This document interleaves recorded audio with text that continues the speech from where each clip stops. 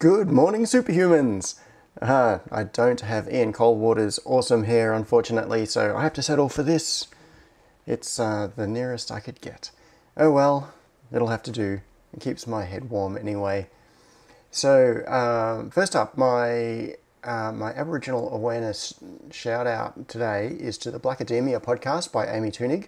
I've been listening to this recently, and I found it uh, very interesting to listen to her perspective on uh, on the on the experiences of First Nations people in academia. So if you're interested in that sort of thing, go and check this out. So I have I personally actually have very little interest in in the academic life, but hearing about other people's experiences and perspectives is always interesting. So check that out. Now, um, today I had a couple of ideas about things I want to talk about. And uh, Roger Tenfor at the start of the chat said, hopefully going to hear more about the launch of the new light switches and maybe launch date this year. So that is what I'm going to start with. It's, uh, it's not what I was going to start with originally, but Roger has set the, uh, the topic to start with. Oh no, I've just locked my computer accidentally. I have no idea if the stream is still going. Hopefully it is. Uh-huh, I'm back. I logged in again. Okay. So where are we? Let's um, let's head here for a second. So this is the current version of the smart switch, light switch. This is the controller. It's actually two PCBs that are sandwiched together. And in fact, let's switch over to this view and I'll show you the previous thing. I've shown this in the past, but I'll just give you the 30 second recap. So the idea with this is that this PCB that is in the back is the controller. On this one there's an ESP8266, so it's got an ESP12E module in there, and there's an RJ45 uh, socket, like an 8P8C socket, voltage regulator, a couple of other things, and that sits sandwiched onto the top of another board, which is where the buttons connect. And that way you can use the same controller with multiple button panels. So in this particular case, it's a button panel for four buttons, but it could also be three, two, one, whatever. Uh, it, at the moment, it's capped in four, just capped to a limit of four, just because of the way the architecture is set up. But uh, yeah, there's some flexibility there. And you can see this one's got some patches on it. I've talked about this on a previous live stream, so I'm not going to go into that in too much more detail. Because where we went from there, in fact, what's the date on this? This one is 2018. I think it was beginning of 2018 I was working on that. And in fact, late 2017 I did the previous version of that. And it's all just been waiting for me to get around to finishing it. So, uh, where this has gone since is this. In fact, while we're here, maybe I'll hit the soldering iron and add some connectors onto this because I still haven't even uh, soldered a couple of parts onto this. I've just been doing some testing. So this is the previous version that you can see here. And as you can see, I've got the ESP12 module under the PCB on this one, connector on this side. And then I located the parts down the sides of the PCB. So I kept this area of the PCB clear so that if I plugged in a cable, it's not going to obstruct anything. In fact, I'll grab a, a little patch lead. So what I have here is a little RJ45 patch lead with a PoE injector attached to it. And so what you can see is the idea is that this plugs in like that. So that would be inside the wall, providing the connection back to the light switch controller and providing power to this. And in fact, let's um, take this a little bit further. Turn on, I'll turn on one of my, my power supplies. What do I need? I need a connection to a, uh, yeah, 2.1 mil DC jack. So I'm gonna grab one of these cables, stick this in, and I'll give it at about 12 volts or so. It's got a little switch mode power supply in the front of it. Well, it's set to 13 volts, that's close enough. So what I'm doing now is I've got the smart switch going to a bit of cable with a PoE injector and I'm going to plug my power supply into the injector so the power goes down the cable to this and hang on I'll turn it on let's see if any smoke comes out it's set to an optimistic 6 amp current limit well as you can see on it's actually not that visible in the camera. It looks like they're glowing sort of white but at the moment these LEDs are glowing blue.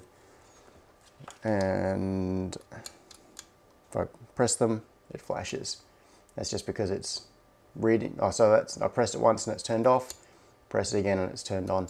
So at the moment I've got Tasmota oh yeah it is. It's got Tasmota running on this and it's only set up for a single button event. So if you press like it's not distinguishing between the buttons and the output is controlling all of them. So press it once turns on press it again it turns off. It's not distinguishing and driving the four channels individually. But anyway I kind of put that aside because I was moving on to the new design the new and improved version. So I'll pull that out of there. Stick that aside for now and this is the updated version so this is the control board and this is the updated button panel, like panel board. And the idea is that this will have a, uh, a socket on here so that it goes onto this. Those two will be sandwiched together. And I could do it just by mounting this on the top and soldering it directly, which means it would be a very low profile, but you'd never get those boards apart again. Not without a whole lot of work anyway. So for the test version, I'm just going to put a socket on this, even though that will make the profile quite high. It'll bring it out to about here. You can see that one of the differences is that I switched to 0.1 millimeter uh, pin headers on here. And on here it's got, I think this is 2 millimeter pitch pin headers. So it's a fairly low profile gap between those two boards. It's going to be a bit more of a gap between these boards and I put on some funky artwork there to show where the cable is going to be when it's plugged in. So what I should do is grab a couple of connectors and solder them on. As you can see I've partly assembled this one. Oh yeah, and the other change, it's got these buttons on the top. So I've got the reset button and the snoot button on the top, but all of the other parts are on the bottom now. Unlike this one, where I put the ESP module on the bottom and then I put all of the other parts like the, um, the transistors for the interfaces to the buttons uh, on the top. With this one, all of the surface mount parts, with the exception of these buttons, are on the bottom. So everything is on the same side which is a bit nicer from an assembly point of view. And it also means that there's just a whole lot more space. Instead of having to jam all of the parts down these little gaps down here, I've got the whole area of the board to work with. Now, uh, oh yeah, so where this is at is right now this particular board has Tasmota loaded onto it and I, um, I put an ESP flash header on it so this is the header format that I've been using for a while now. The first four pins, so ground, TX, RX and 3.3 volts. If you ignore those top two pins, so those bottom, let's bring this up a bit closer, if it'll focus, don't think it will. Those bottom four pins are exactly the same as the header on a Sonoff. And then all I've done is added the extra two pins, so reset and GPIO 0 off on the end there to allow auto reset and bootloader mode. And then, where is it? Somewhere around here. So then I've got my ESP flasher. So to load code onto this, I can just plug this in. It's got USB-C, and then we can load new firmware onto it. So uh, yeah, so as I was saying, this one right now has Tasmota loaded on it and it's functional. So it connects to my MQTT broker. I've, um, I've just been testing this by, uh, yeah, by playing with it directly. I haven't got as far as assembling a whole thing and connecting this up. So, oh yeah, this is a bit I haven't really shown you properly yet. This is the board that goes in the back of the light switch. So we've got these RGB buttons that mount through a regular Clipsal wall plate and then they solder into the carrier board. Now this carrier board is a three button carrier board. You can see this one that's on here is a four button and I've also got a two button version. And if you wanted to make a single button light switch, you could use a three button carrier and only populate the center position.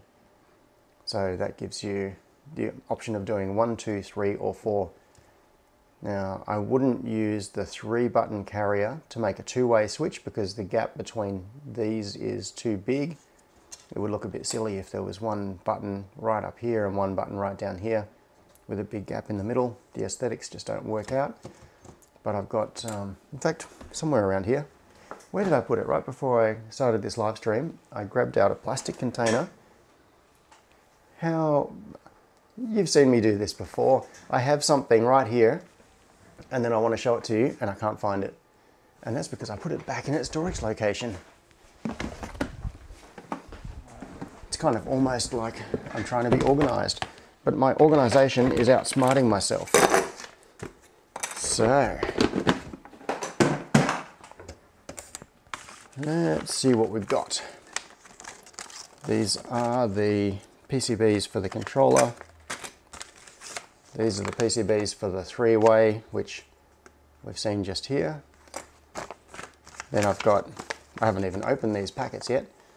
These are the PCBs for the two-way switch, PCBs for the four-way switch.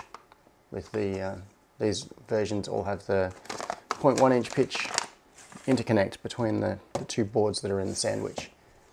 So where it stands right now is the circuit on this has not changed and I verified, I know that this circuit works because that's what's in this. It's basically the same thing. All I did really was change the pitch of the interconnect between the boards, the board-to-board -board interconnect. So I'm pretty confident that this circuit is good. And this one has been fairly majorly redesigned, but it's more a, a mechanical redesign than a schematic. The schematic hasn't really changed that much. Very, very minor change. So in terms, from an electrical point of view, I'm pretty confident that this is good. And this is running Tasmota, so now I need to do the config. So while I'm talking about this, what am I going to put in? Uh, let's see. I need to stick on, so I need to put on a 5.5 volt regulator. I need to put on an 8P8C socket. What have I got here? K7805 I really like these little regulators. The K series are like the L78 series, except that they are switch mode. Now, I need, where can I find, oh look, here are 500 I prepared earlier. Some 8P8C sockets and I need a 5 millimeter, I think it's 5 millimeter screw terminal. Might be a 3.5 millimeter pitch. I can't remember what I used on this one. Is it 5? Yes, it is. Oh, yes, and as I was doing this, I got some feedback and because I asked for some hmm, footprint works better this way, but doesn't matter. Yeah, so on this layout, on my original layout, this one here, you can see that I've got the screw terminals coming in sideways. So if you're supplying power directly on the board and not using power over the network connection, well it's not network connection, but over the 8P8C cable, you can just supply power directly in here. And the cable comes in from the side. And uh, I can't remember who, but someone had a look at this design just before I sent it off for fabrication and suggested that I rotate this connector. So I've changed from a 3.5 millimeter pitch screw terminal to a 5 millimeter pitch. And one of the reasons for that is that these 3.5 millimeter pitch terminals use fairly small screws and I just find it really annoying trying to get a screwdriver into it.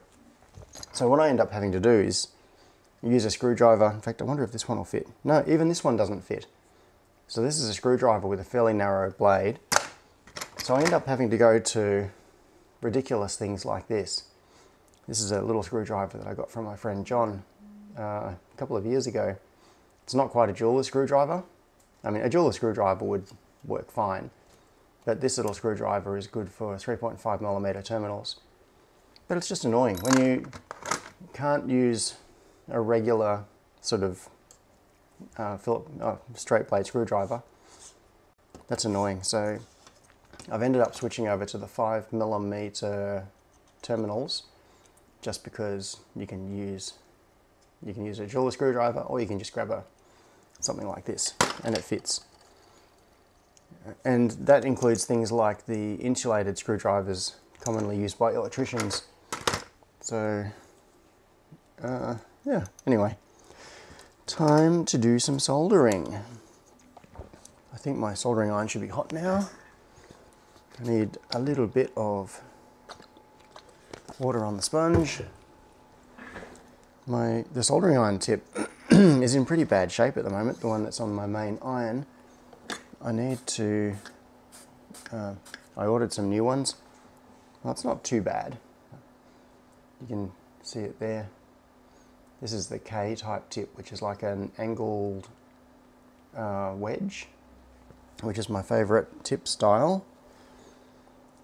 And uh, I've ordered some more, but they haven't arrived yet. So in the meantime, I just have to make do with this.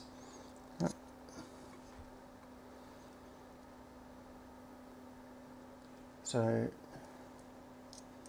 I'm basically just going to make you watch while I assemble something, which is not the most exciting thing in the world, but it gets us one step closer. I think the way to keep myself accountable is to work on things. And like these light switches for example. I've got so many projects that I'm working on. These light switches had kind of slipped off my radar again just in the last few days like in the last couple of weeks. So I've had these boards now for weeks and haven't progressed past getting Tasmota running on this because I just keep getting switched off onto other things now where did my cutters go I don't even know where my side cutters are oh well let's not worry about that for now and what have we got here? Is it the 7805? Yes, it is. So I'll put the voltage regulator on here. And yeah, if the problem is that people on live stream say, hey, when are the light switches coming out? Or when is the new lighting controller coming out? Or whatever. And I talk about it and I promise to do something about it. And then I go off and do other things. And then I don't even think about it until someone asks again on another live stream. So this time, since uh, who was it? Oh, it scrolled off the screen now. Um, someone, Magic Blue Smoke, was it? Someone said, "What's happened with this?"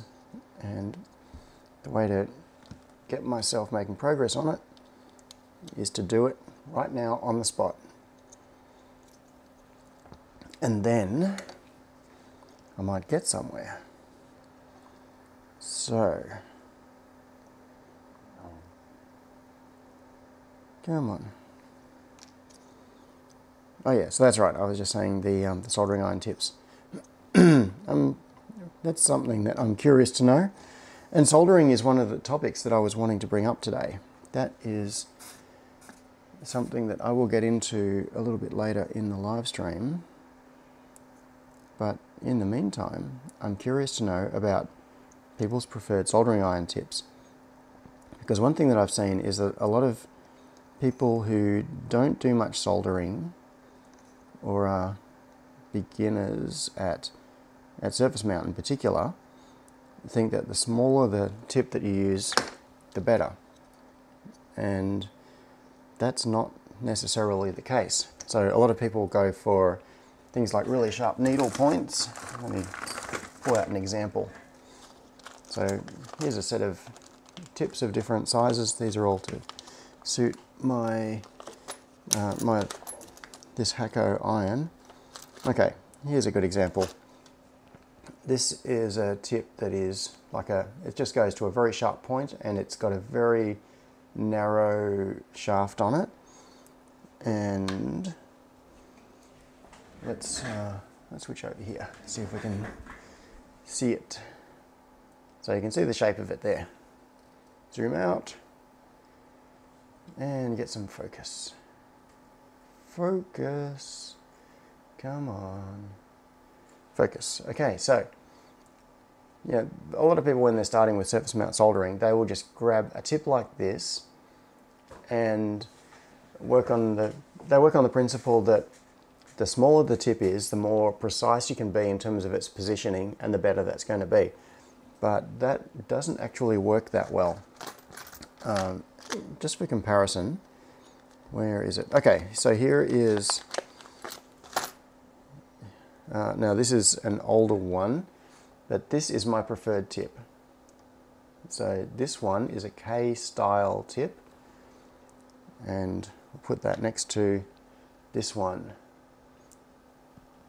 So a lot of people when they begin surface mount soldering, they go for a needle type tip like this, and you'll find that people that have a lot of experience with surface mount soldering typically go for something like a K-style tip, like this one that's up the top, or other um, popular ones are, I can't remember the, the actual letter code for this, but this one, which is cylindrical, but it's got a like a cross-cut face on it, so it's got an oval shape on the end.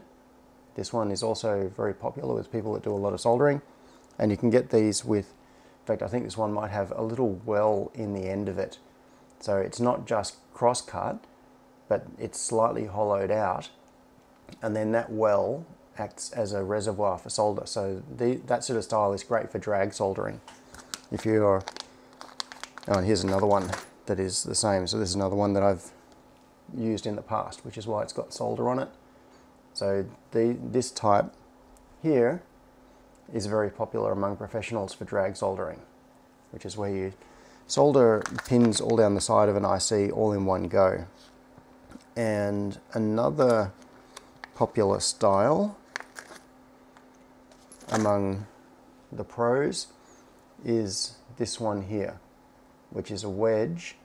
You can see that it's, um, it's conical shaped but it's got a chamfer off two sides of it. So you end up with a straight end and then uh, cuts off the side.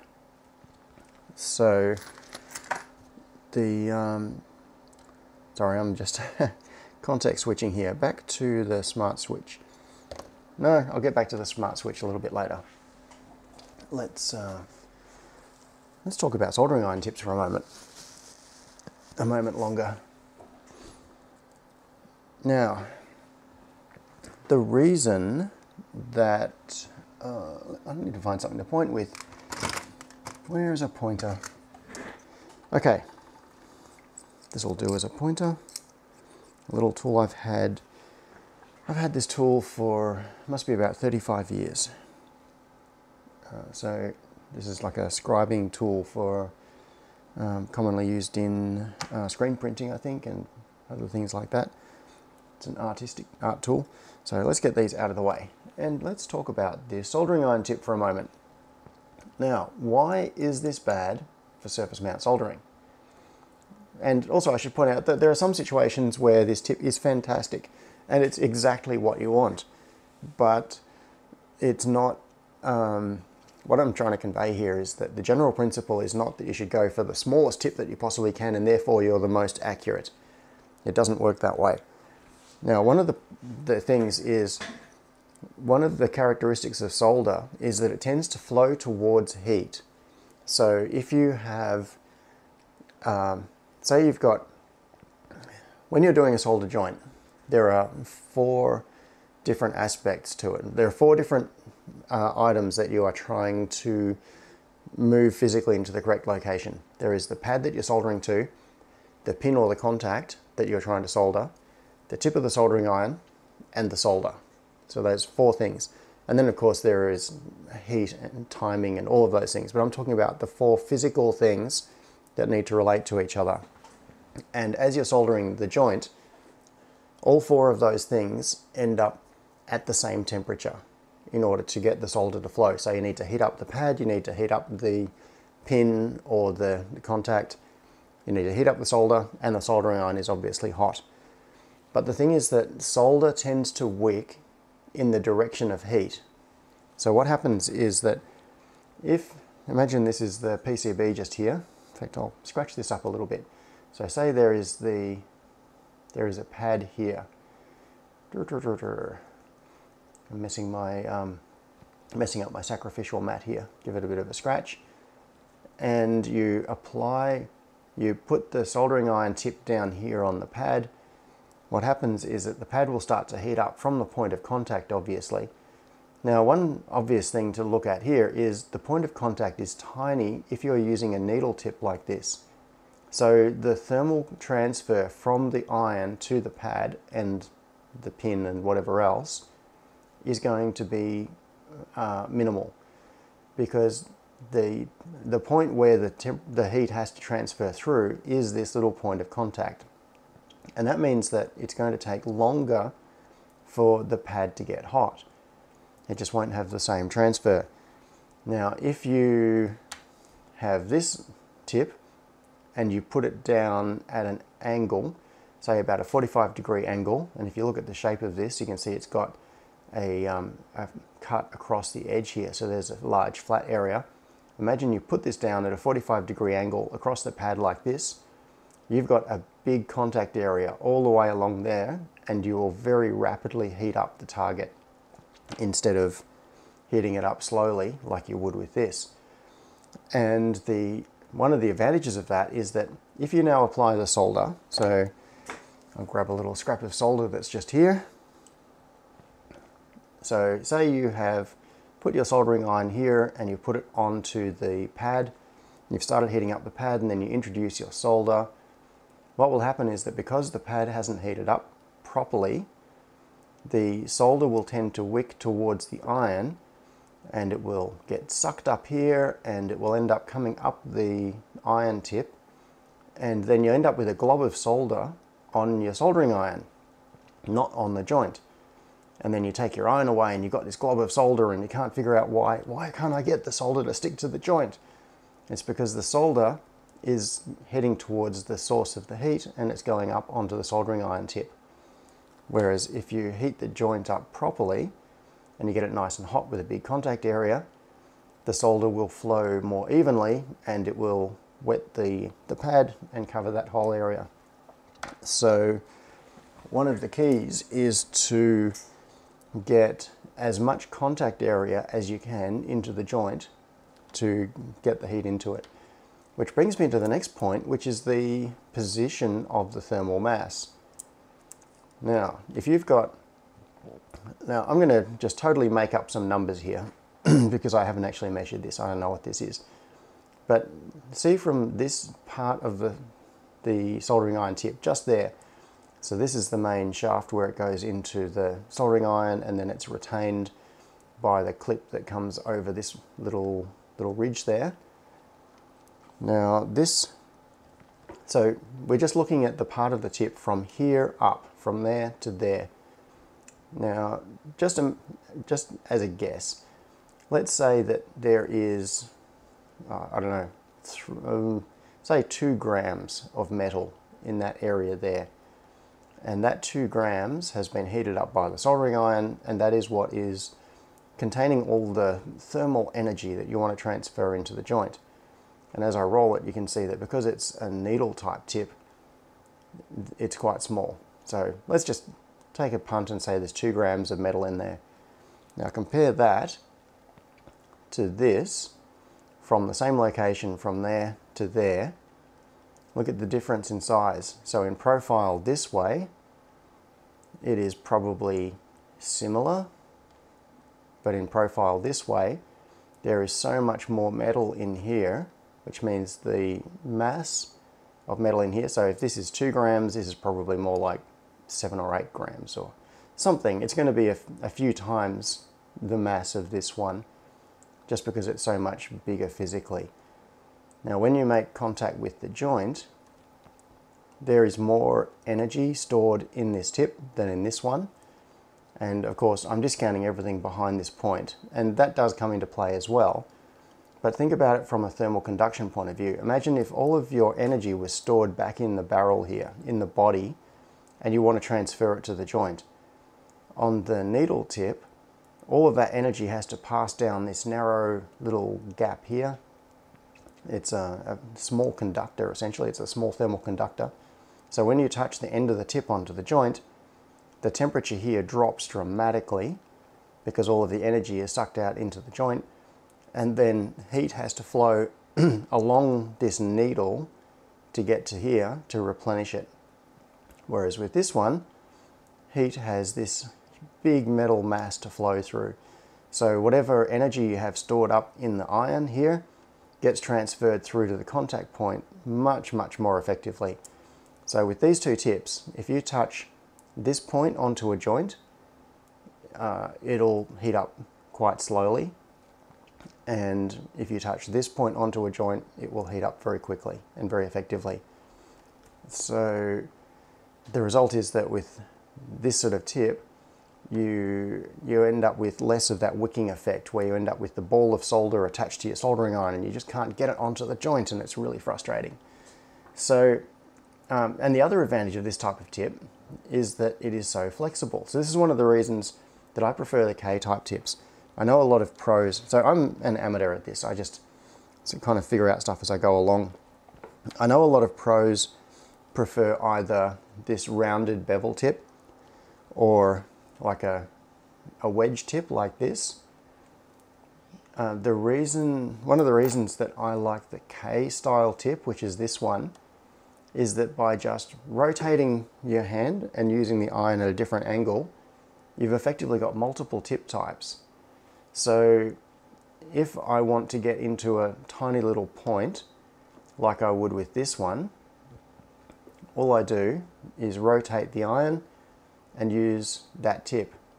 So this point here is what I use if I want a very small contact point. So like this iron, if I'm trying to get into the end of like an 0603 or 0402 resistor or something, this is easy to get in and touch just that one location. But with this tip, you can do the same thing.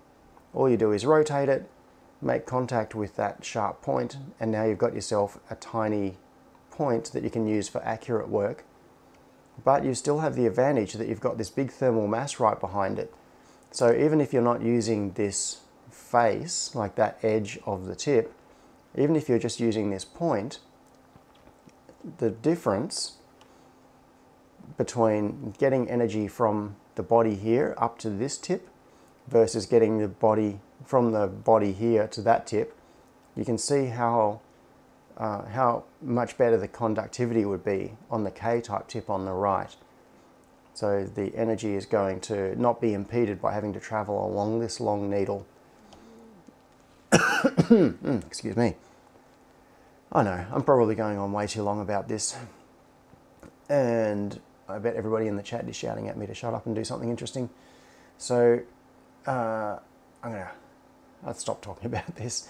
But uh, yeah, my point basically is that with the tip on the left, it's a single purpose tip. All you can do is use a very small contact area. With the tip on the right, it's a multi-purpose tip. I can touch it onto the flat long edge and get a really big contact area for doing large connectors and things. I can rotate it and now I've got myself a point that I can use for things like um, very small parts. This edge I can use for drag soldering. So if I'm going along the edge of an IC, let's just find an example. Okay, so normally you'd use it with you know 20 pin or whatever ICs, but this is an 8 pin IC. So with drag soldering, what I can do is just drag it along here and solder all four of those pins in one go. And it's just generally more universal. so this tip I can use for lots and lots of different things. And you can see by the discoloration that I have used this tip. And these are useful in situations like where you're trying to do things like a whole bunch of bodge wires into a small part. Uh, where's an example? I'm just trying to find something that I can point out, but oh, okay. This is a totally contrived example, but let's see how we go with this. Now imagine that we had this board and all of the connections on these uh, on these were wrong on these little transistors and we had to solder patch wires onto each of these points. Now with this tip you could do the first one easily enough because you just rotate it and you come in with the, the tip only but then you can see the width of the body gets in the way. If I wanted to do more uh, patch wires onto other adjacent pins it's more difficult with this K-type joint, uh, K-type tip, whereas with this one, I can come in and it's a very narrow profile, so I can then get access to these connections and I can solder patch wires onto adjacent pins, which could be on a very small pitch, like it might be 0.65 millimeter pitch or whatever the target IC or device happens to be. So this sort of tip I would use for uh, for getting access to uh, to pins that I just I don't have much clearance around them, and that's why it's discolored because I do use this tip, and I use a few different styles of tip, but the thing is to learn about what uh, what's the most appropriate tip to use in any particular situation, and uh, and not be not just think there is one style that is the best and it's always the one that's the smallest and that gives you the most accuracy because that's not necessarily the case. So what I find is that the K-type is the one that I leave in my iron almost all the time and then very occasionally I'll switch to a different type just to do very specific things like if I've got different needs. Yeah, I'm just going to solder so solder a connector onto here and onto here I should say. And then I'm going to see what I've missed in the chat because I've been ignoring all of you. I'm sorry about that. Okay so we now have the 8P8C socket on here.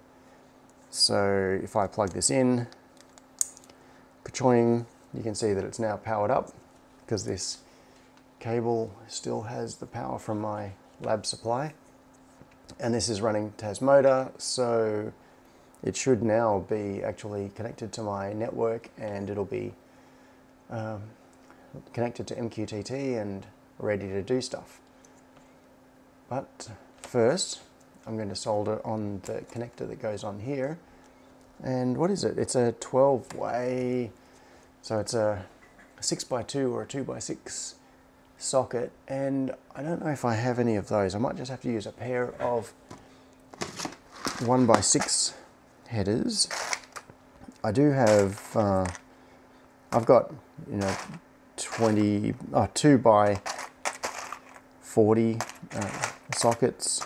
So what I could do is cut down a big one, but I won't this time. What I'll do is I'll just get a couple of 1 by 6 sockets and stick them side by side. So I'm going to use a couple of these. What else do I have in my... This is my little random headers box, my local cache, cache, cache, however you want to pronounce it. I've always pronounced it as cache. But that's probably because I learned about the word from books and didn't hear anyone pronounce it until I was like 20 years old or something. So I don't even know how it's meant to be pronounced. It's, uh, I know that a lot of people say cache, so like a memory cache. And that always sounds weird to me, just because from the time I was, um, I don't know, when did I learn about caches or caches? I was probably about 10 years old, reading up about computer architectures and things. So I read about it in a book and thought because of the way it was spelt, and I think because it's probably French origin is my guess. And it's not cache as in C-A-C-H-E-T. So it is my 10 year old or whatever it was brain probably said, oh, that's probably meant to be pronounced cache because it's got the E on the end. And I've probably been mispronouncing that my entire life. Uh, okay. Get some connections on there.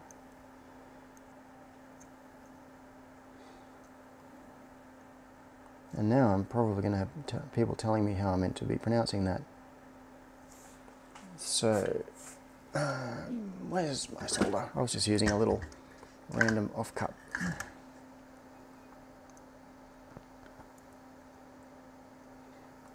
Now, it's time for everybody to be criticizing my soldering technique. Come on.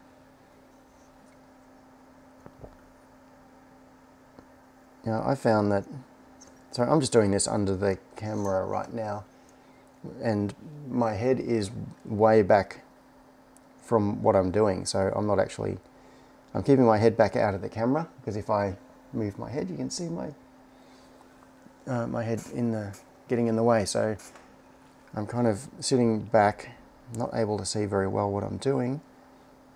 And also, in recent years, I've been doing pretty much all soldering under the microscope. Even things like, you know, things like this. This is a 0.1 inch pitch header, which is huge. There's no, I've got no problem doing that. Fact, like I solder 0603 parts just directly without the microscope, no problem. But I just find that doing it under the microscope gives me so much of a better view of what's going on. So now we've got that header, so that plugs into the button carrier board like that. But of course that has to be done after the carrier board has been attached to the buttons because it gets soldered on from this side and you can't get the soldering iron in there. So the, um, the assembly sequence would be to drill a hole in the switch panel mount the buttons through the holes and then put this button board onto the back of the buttons, solder it in place, and then get the controller board, attach it, and then we should be good to go. Now one of the reasons that I actually changed this design, if I put these side by side, you should be able to see the difference, is the gap between the holes. Now I've made this, the new PCB is slightly longer.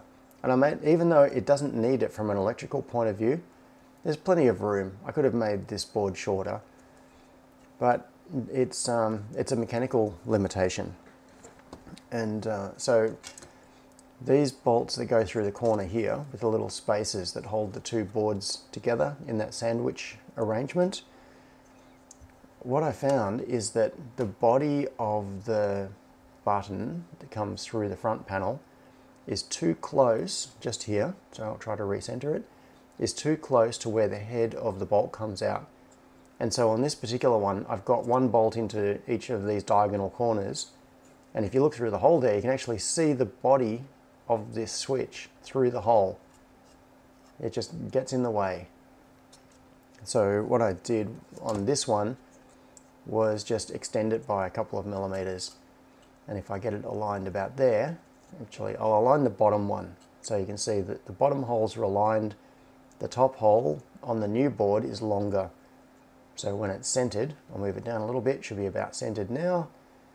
You can see that the mounting holes have been moved um, out by a couple of millimeters each and that should be enough to give it clearance over the um, over the bodies of those switches. And if you look at this one, so this is the three button version of the, the button carrier board, you can see that it's longer because the position of the switches, to get the spacing right, they have to come out to this distance. So in this case, it's going to look a little bit strange because the top board is shorter than the bottom board. When they are attached together, move that out of the way, you can see that the button carrier board is longer than the control board, but the mounting holes line up so that I will be able to put a little spacer or something in there and um, put some bolts through and mount it. Now you can see that the silk screen ran off the edge of the PCB just there because the body of the switch comes past the end. And then the other versions of the board, which I haven't even opened. Let's open one of these. Right, this is the two button board. you can see that once again this one could have been shorter but it's as long as it needs to be to accommodate those corner mounting holes. So those are the two those are two of the button panels in front of each other. Where's the four button? Let's grab that one out. Just for curiosity's sake. Leave that packet open. And there's a four button panel. So we've got one, so we've got a two button, a three button, and a four button all side by side. And in fact, are these two? I think they're the same dimensions. Yeah, they are. So the two and the four button are the same dimensions, but the three button is slightly longer to allow for that bigger gap.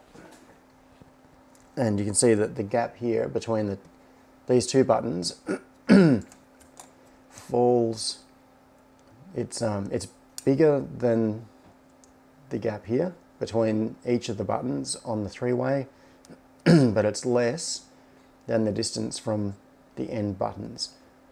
And uh, that gap was just picked because it comes up aesthetically, excuse me, as looking okay when it's mounted on this faceplate. And uh, I also put some dimensions on here. Oh, and one other little thing. This is something else I've mentioned in the past. If you look in the center of the footprint here for these buttons, you can see that there's a hole. Let's see if you can see it there. Just there. See there's a mechanical hole right through the middle of the footprint. That's actually got nothing to do with the, uh, the footprint for the button. I put those holes in there so that you could use a pen to mark up your faceplate. So if you've got a got one of these wall plates and it's blank, all you have to do is grab the PCB, stick it on the wall plate, and you get it centered. I mean, I'm not actually going to do this, so I'm not going to worry too much about getting it accurate. But you just get it centered, and then you grab yourself like something like a felt tip marker pen, and you just put it through the hole, and put it through the hole, make a mark, and then you'll have um, drill holes marked on your, uh, on your faceplate and they will be perfectly accurately aligned to the position of the switches. So the switch footprints become the mechanical mounts, they become the, uh, the drilling guide for the plastic faceplate. So I can't remember where that idea came from. I did that on one of my really early light switches about 10 years ago and I've done it a couple of times since. I used the PCB as a mechanical guide. So yeah, I, I, just find that's a really handy little technique. And the other thing is that you can see that I've put dimensions on here. So in this case, 30 millimeters is the center the center gap. And uh, the idea with this is to make the PCBs kind of self-documenting to some extent.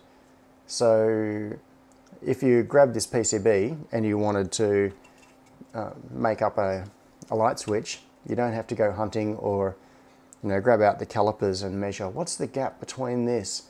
You can just look at it and go, hmm, 30 millimeters, easy. And on this one, what is that one? 24 millimeters center to center. And on this one, I've got 24 millimeters center to center horizontally, 30 millimeters vertically. So all the dimensions are shown directly on the PCB. And the PCB is a drilling guide. So, where are we at with this? All right, so we've got the control board is now uh, all soldered up. We've got the connection through to here. So the next logical thing to do is to solder the switches onto here so that we can do some testing in the same way that I've done some testing for this. But I'm not going to do that right now on the live stream because I would have to go out into the back of the garage and use the drill press and mess around doing a few other things. And um, I can't really show you that. And it's probably not that exciting to watch anyway. So where, although we can take a little bit further, what I could do is I can grab a couple of the buttons and just physically hold them in position on here and I can't remember how I've got this configured. So I've got Tasmota installed but I don't know if I've got it configured to drive the RGB LEDs yet. Uh, let's see, we can always find out. Let's plug one in and see what happens. So I've got a, I've got boxes and boxes of these RGB LEDs here. So these are the, the boards, so these are the buttons that I had custom made in China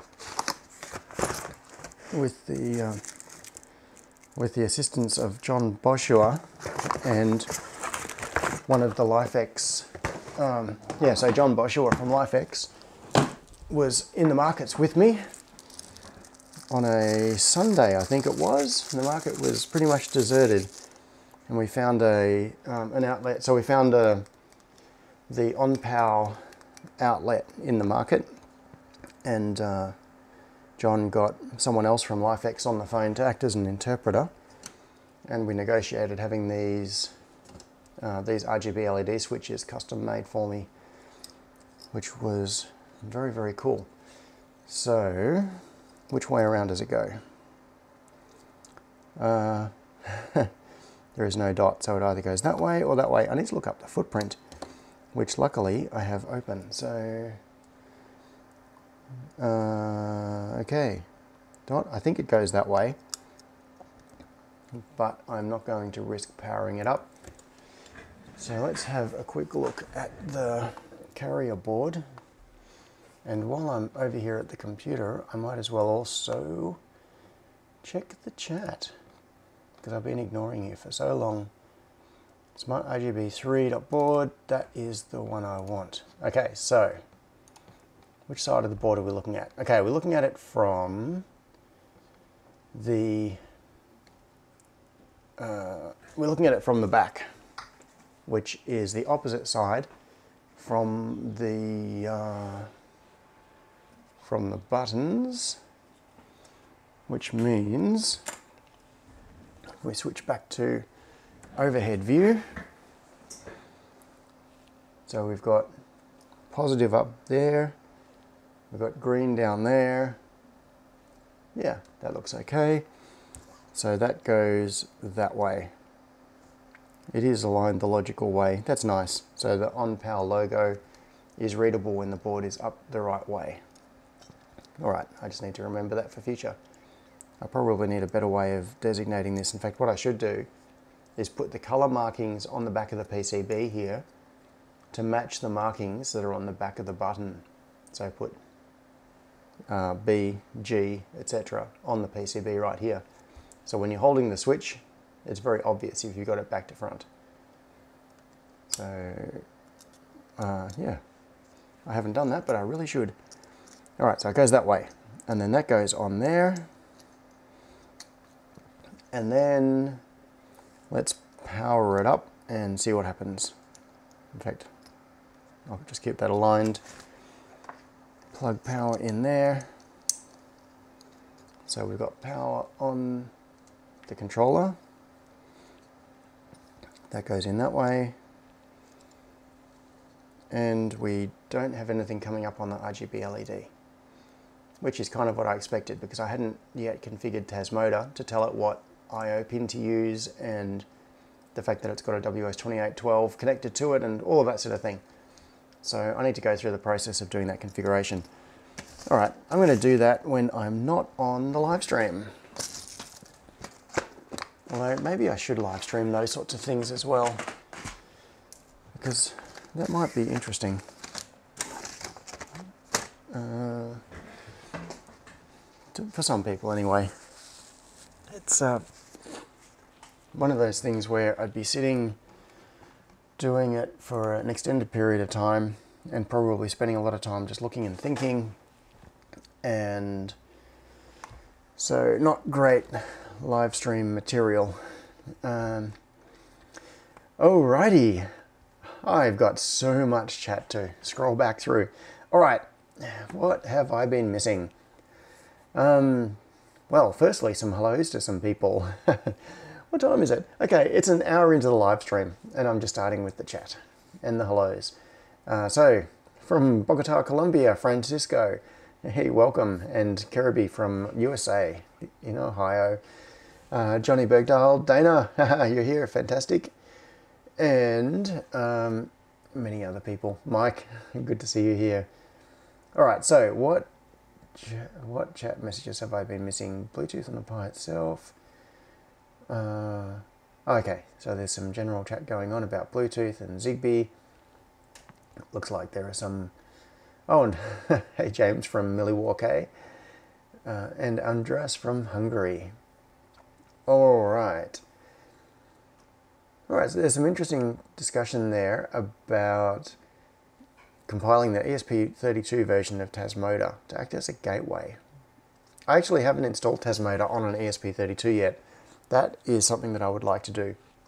It's, uh, it's really cool that the um, that Tasmota now supports the ESP32. It it actually puts the project in a bit of an interesting and difficult position because the thing is that for cost reasons, the vast majority of smart switch devices still use an ESP8266 or 85, and that has the inherent limitations that Tasmota can can really only do things or add features that work on those processors. And anything that's done to support the ESP32, at this point anyway, has to be kind of a secondary um, effort because if you, um, so if the developers add a whole lot of things and they've come to rely on features of the ESP32, it means that Tasmota is no longer useful or as useful on the um, on regular things like the Sonoff and all of the, the various knockoffs. So, um, uh, yeah, it's a tricky position to be in. Uh, ESP32 support is cool because it does mean that it'll be possible to do things like use Bluetooth in um, in Tasmota and open up all sorts of other possibilities, and even just working around lim- memory limitations. So one of the big problems with Tasmota development is just running into the limits of the ESP8266, mostly in terms of memory. Excuse me. It's not so much in terms of things like RAM or processor speed. It's more just the fact that the majority of uh, of smart switch devices are designed with a very small amount of flash memory, um, to, just to save money. Like every cent matters when you're making millions of something. So, uh, so it often has to fit into well, and the ESP8285 with its fixed internal flash is the classic target use case. So Tasmota really has to run on an ESP8285, which puts a hard box around the capabilities of your target and uh, and adding features that are on some devices and not others is why Tasmota now has so many binaries available. So there's the, the basic Tasmota binary, which is the default, and that is what gives you regular functionality on regular devices. But then if you want things like display support or certain sensors or certain I.O. peripherals, then you often have to go to a, either a custom build to turn those things on, which means you have to sacrifice something and turn something else off, or get one of the pre-built binaries that are for those particular uh, target devices. So, yeah, anyway, random thoughts. Uh, okay, so uh, Station 240 said, I found those small terminals to be unreliable for CAN connections. Uh, I think this is in relation to the 3.5 millimeter screw terminals that I was showing earlier, wherever it is, got them still on the bench there. This one. So 3.5 millimeter screw terminals. Um, that's interesting. Yeah, I haven't, I don't think I've ever used these screw terminals or any screw terminal for CAN connections, but that's interesting to know that they can be unreliable. So thanks Station 240. Uh, so, okay, so a question about this smart switch. Uh, Jay After Dark said, so when you push the button, is it a pull up or is it actually sending a message through RX and TX? it is a pull, well, there is a pull-up resistor, and the switch is a pull down. Now, let's have a quick look at, where are we going? Desktop. Okay, desktop, come on, switch view, that's it. All right, so this is the three-way button uh, carrier board. And if I switch to the schematic version, uh, okay, so ignore all of this, everything that's in gray that I'm telling you not to look at, and right now you're looking at it because I'm highlighting it. Don't look at it, stop it, stop looking at it. The part to look at is the switch just here. Let's look at this switch as an example. So this is one of the buttons. This is button two in this case. And you can see that it's got ground on one side. It's normally open. It's connected to ground. And the other side comes along to this connection. So from the point of view of the control PCB, the RGB switch, so if you ignore the LED part of it, the illumination part of it, just the input side, so pressing that button, what it's doing is taking this pin and shorting it to ground. And then if we look at uh, the control side of it, and where are we? So we've got the connector here. If we look down at this connector, you can see button 2, and this is where that is coming in. So that same button I was just looking at on the carrier comes in on this connection. So where does it go from there? Button 2 comes in right here. And you can see that there is a 22k pull-up and it then goes through a 1k resistor into the gate of an, an MOSFET. And uh, I think I've talked about this a little bit before. I won't go into it in great detail now. This whole arrangement, you might look at this and have a bit of a what the hell moment you can see that there is another 22k pull-up. So we've got a 5 volts on this side, we've got a 3.3 volts on this side, we've got two 22k pull-ups, and we have the connection coming out here, GPIO 13, which is going into the ESP8266, and we've got the FET here. So normally what happens is that when this button is not pressed, we have this gate on the FET pulled up to 5 volts through these two resistors which means it will be turned on, which means this goes to ground, which means that we will have a low on the GPIO 13. When you press the button, it grounds it, which turns off the transistor, which pulls this up to 3.3 volts, which means we have a high. So from the point of view of the ESP8266, this is acting as an inverter. That's not actually the purpose of it. I would have preferred it not to be an inverter, but that's just the way it is. So um, when you press the button, you get a high input on the ESP8266. When you let go of it, you get a low input on the ESP8266. But the reason we've got this in here and that this circuit exists is that this is not the only place that the button to net is connected. So where do we have it? Over here. Look at this. This is the 8P8C connector and button 2 also comes here. So the result of this is that button 2 is pulled to 5 volts normally through this local pull-up resistor and that means that this pin here is at 5 volts normally and when you press it it goes to ground and this connection goes to ground. So at the other end of this wire this, uh, this it's like Ethernet cable, but it's not. I'm just using twisted pair cable with RJ45 connectors on it, 8P8C connectors. So at the other end of this is a light switch controller, and it can detect pull down events on these data lines, which are not data lines, they're just the switches. And uh, that's the reason for this circuit. So this acts as a bit of an isolation. It allows direct connection to from the button to the remote light switch controller. So the light switch controller can read the state of the buttons regardless of what is happening with the processor. So it doesn't matter if the, the ESP8266 is actually doing anything at all. In fact, it could be totally failed. As long as there is power to this, you can detect button press events at the other end of the wire because you are detecting this net going between 5 volts when it's pulled high and 0 volts when it's pulled down. So if you treat that like an open collector input, then you can read it. But the ESP8266 can also read it in a way that's isolated from this particular part of the, uh, the connection here.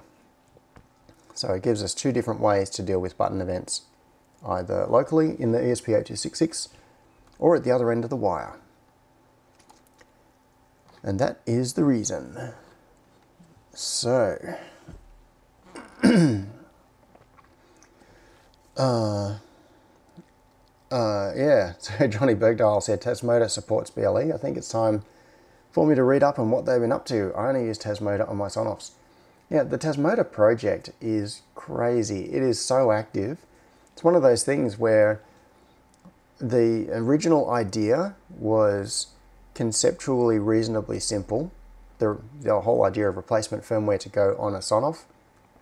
And it's got a huge community around it now, and it's got so many developers working on it with lots of ideas it's turning into one of those universal firmware things where you can make it do pretty much anything. Uh, yeah, okay, so, um, oh, Unexpected Maker said, hey folks listening but not in front of computer, PNPing. So, uh, because Seon can't see me, I'll wave to him. Hey Seon. Uh, he'll be having lots of fun with his new pick and place machine, which uh, looks amazing. So I'm so happy that you've got a machine that's doing the job for you now, Seon. Uh, yeah, all right, so uh, what have we got? Uh, oh, lots of comments about solder tips. This shows you how far behind I am on the chat. Depends on the surface area I'm soldering, yes, etc. Currently have a semi needle, yeah. Um, oh yeah, Dana. Uh, so started with the usual cone, ended up getting pretty used to a stand uh, to a round beveled. Yeah, round bevels are very popular. That's a good choice as well. Um, for some reason, I've just ended up with the uh, with the K type tip as my preference, and I, I think the reason for my preference for the K type over the round beveled is the fact that I can get such a different profile from it just by rotating the soldering iron. Oops. So I can have the soldering iron in my hand and just little twist and all of a sudden it's like I've got a totally different tip on the iron. And being able to get down to the fine point when you need it can be useful. And doing that with the round bevel is a bit harder. But yeah, round bevels are very good for drag soldering and a whole lot of other um, types of soldering as well. Uh, oh, John Spencer said, I still prefer the needle tip for surface mount, but I'm growing to like the square blade on my TS100. Yes, shout out for the TS100. So I have one right here. And I got this just a little while ago. I'm going to chuck it down here and switch views again. I love this TS100. Where have we got? What have we got? Desktop? No, overhead. I want that camera. Okay, so this need to find my cursor again too. There we go. So um, this is my relatively new TS100 and it's the, so the TS100 has the barrel jack in it. There is also a TS80 which is a kind of similar design but it's got a USB-C connector so you can do like USB power delivery, like PD stuff. And they, yeah, they're kind of similar. Um, there are advantages and disadvantages of both. I personally chose the TS100 and I got it with this lead. So it's got the barrel jack connector that goes in there to the XT60 connector on here. And as I've said on said previously, I'm switching over to XT60s for just about everything. I've got, uh, so connections for my lab power supplies are now XT60 connected to the bench there. And I've got leads hanging up here. So I've got, uh, like this one, for example, I can just reach up and grab it. It's XT60 to alligator clips. and I've got XT60 to barrel jack and of different sizes and uh, yeah, all sorts of different things. And XT60 extension cables up to like four meters in length. So what I can do is plug into my lab power supply here, plug this in on the other end, and now I've got a four meter long lead to my soldering iron. Or I can just plug this into a battery from my drone. So uh, I've got these, mean, this, these are not the ideal voltage to be running the TS uh, 100, but I've got these, uh, these 3S battery packs. So what I can do is just plug it into here and now press go. And I've got the new firmware on here as well. So I put on the open source firmware. And so now I've got a totally portable soldering solution which I can take anywhere. And this is actually the use case that I ordered this iron for. I wanted to be able to pick this up and go and work on the pick and place machine or work on you know some device that's on the central bench and having my normal soldering irons tethered to the bench was a bit of a pain. So having this portable solution is really good. I'm just going to pull the power on that now and try to remember not to burn myself on this because it'll be hot. Okay, so I ordered this one specifically with, I think it's called a KL tip.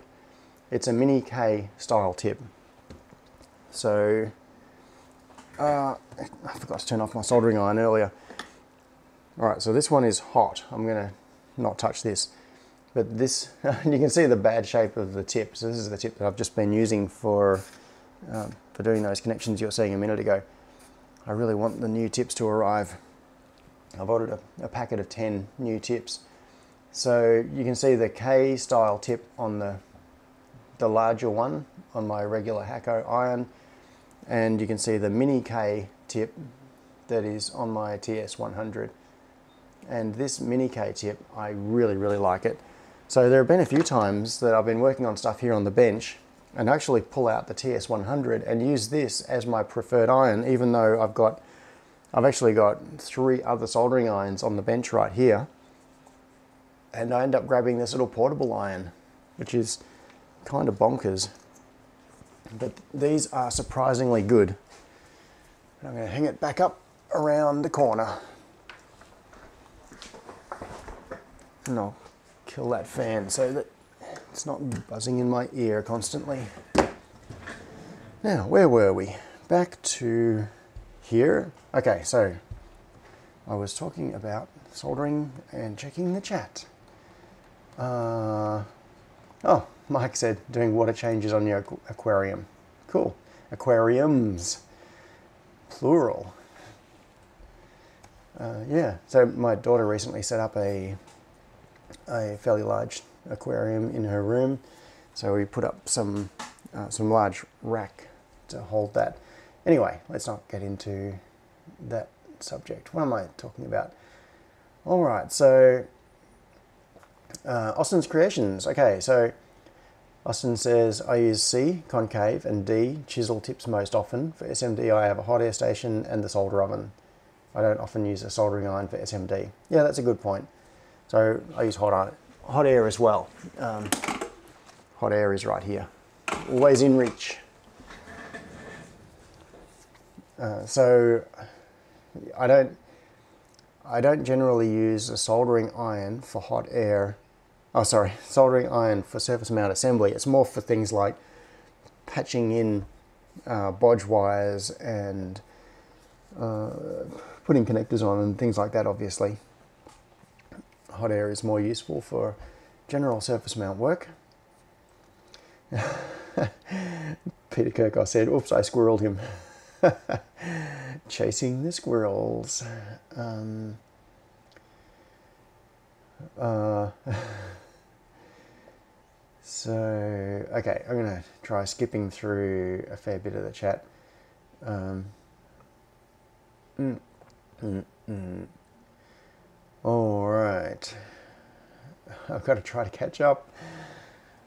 Um, oh, yes, this is a very good point regarding soldering. Magic Blue Smoke said, That's why when soldering pins, you should always add solder on the opposite side of the pin than the iron is. yeah, uh, that is a, a point that I should have said something about earlier when I was talking about the four items that you have to get in. So soldering iron comes in from one side, solder comes in from the other side into the joint, and that way as it wicks through the joint uh, towards the soldering iron, like chasing the heat as it will tend to do, it will tend to go onto the joint.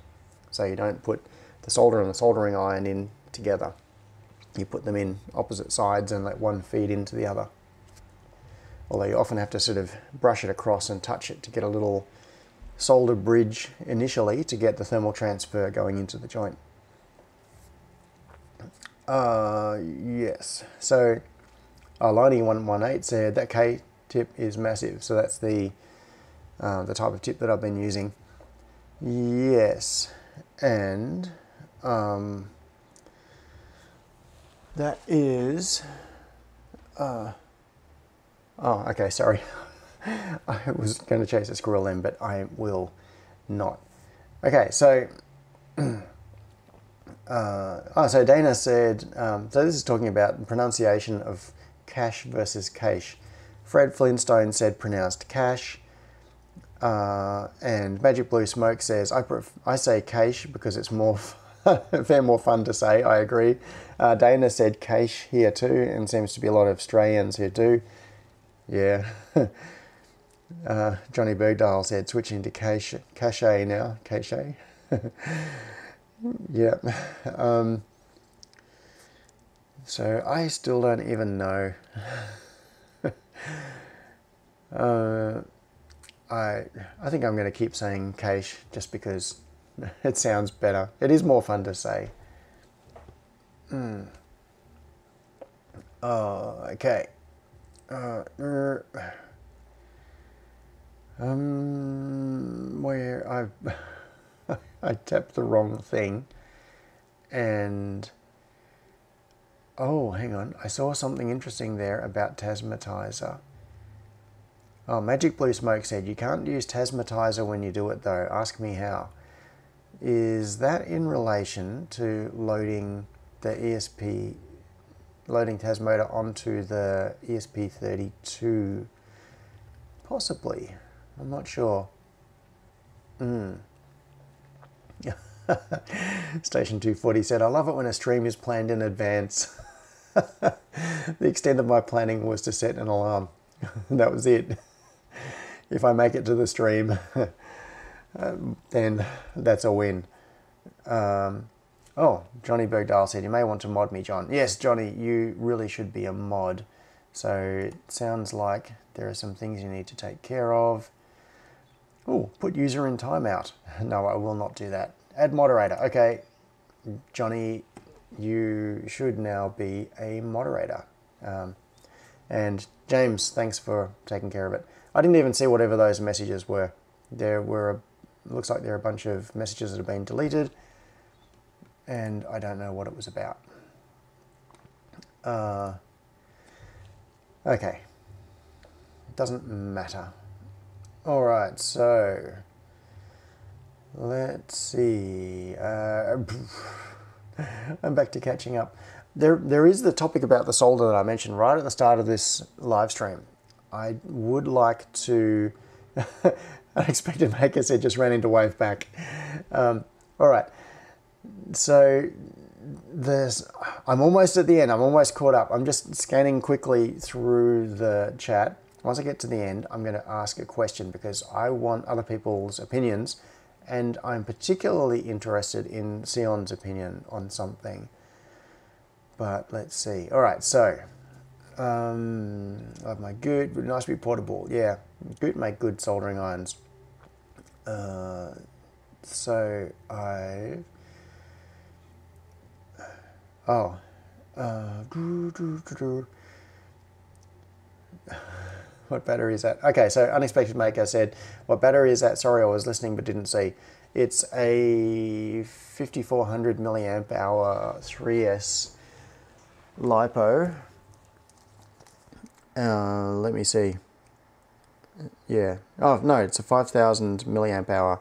So 11.1 volt, which is 3S 60C. It's basically just a big ass drone battery and I've got a couple of these um, just up er, there. You can see that white controller there. That is the controller for a um, a DJI drone. So there's a Phantom just up er, there, uh, just across there. That is the controller for a homebrew drone, and that's what these batteries are from. So um, that one is running ArduPilot on a little STM based flight controller and different other things and it uses these batteries. So that's why I have that one. Oh, Liney118 said the mini K tip is a KU. Yes, thank you. So um, Station 240 said, expect an answer in 10 minutes. He's way, way behind in the chat. Yeah. All right, so uh, chase the squirrels, chase them. All right. Now, there is an interesting question from Roger104, and this is such a squirrel. I'm not sure I'll get into this right now. Maybe. Uh, this would, okay, the question was, can you explain the steps to commercializing a board from a late stage prototype? That is um, a uh, that is a very big question, and I think that would be a really interesting one to discuss when I have someone else on the stream. Maybe that is something that um, Seon could jump on, and the two of us can talk about it from our uh, different perspectives and experiences. So, that yeah, that would be a cool topic, but I think it would be too big to get into now. Now, okay. Um, Seon said, doesn't the TS100 need 24 volts? It takes up to 24 volts, but it doesn't need it. What is the spec? I think it basically runs anything from like 10 volts to 24 volts. And if you run it at 24 volts, you get faster heating. It basically performs better. But you can stick a 3S LiPo on it and it works perfectly fine. Uh, if I had a if I had a 6S lipo, that would be perfect, but I don't. I have the 3S lipos on that drone, and I'm just using what I've got. Yep. Aha, Magic Blue Smoke said 12 to 24, but it will take most voltages over 9. Yes. And there is a setting in the software where you can um, uh, you can set the safe lower limit. So that depending on what type of battery you've got, you don't want it to drain the battery. And if the battery doesn't have a built-in self-protection circuit, the soldering iron, so the TS100 is capable of having a cutout point. So you can say, I'm using a 3S LiPo, and it will know once it gets below a certain point, it should turn itself off. So it's, yeah, it's very cool. Uh, okay, so the Seon, cool. Sure, happy to have a chat on stream. All right, I think that is a, uh, a very good topic for a future. So, uh, Michael Hunt said 3S is 12.6 volts. Yes, depends on the state of charge. The uh, I think the voltage that they specify on the packs themselves, so this one says 11.1 volts on it. I think that is the cutoff voltage when it, it the safe cutoff voltage when it's discharged and it charges to more than that. So it's actually more than 11.1 volts. In fact, I wonder what it is. Let's chuck a multimeter on it and see what we've got right now. I don't know what the state of charge is. So it's saying 11.645 volts at the moment, which is uh, it's probably a bit discharged. I should chuck this on the LiPo charger and get it back up to a good state. Okay, yeah, Magic Blue Smoke said 3.7 is the lower voltage discharge, 4.2 on higher end of charge. Exactly. So 3.7 times 3 is 11.1, which is three cells in series. So that is the low end of the discharge. All right. Um, okay, so uh, now the thing that I was wanting to talk about way back at the start. As I've as I'm sure everybody here knows, I had some problems with sinuses a while ago because of getting the actual trigger that time was getting a dose of solder fumes. And I've now moved my reflow oven through into that room and I've set up a whole new exhaust system and that is fine. I've been I've used the reflow oven since then and I haven't been able to smell anything at all. The new exhaust system sucks it all out very effectively. It's got about double the flow rate in terms of cubic feet per minute or cubic meters per hour or whatever the, the number is meant to be as the old exhaust system and it's running through a much bigger duct. So it's got better. Um, Johnny Bergdahl said 85 minutes later. Yes. So um, they. So I haven't had problems with the fumes since then, but this whole thing has made me stop and think a bit more about what I'm using and one thing that's really annoyed me over a long period of time is the fact that I've been using a mishmash of different types of solder and I haven't been consistent, which means that getting things like profiles on the reflow oven sorted is a bit of a moving target. And um, Magic Blue Smoke said, John's the sort of guy you go over to his house for a beer and to move a couch or something in seven hours and a carton of beers later the couch still isn't moved. uh, I'm getting there. I'm getting there. Okay. so, um, what I've had in mind is um, there is a group of things that you need to work together. And so I've been, I've got a, a note basically to myself, which is making up a list of things and in fact, where is this note? Let me see if I can find it.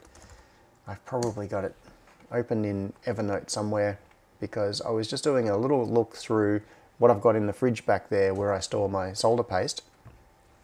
And come on, Evernote, you'll open. There it is.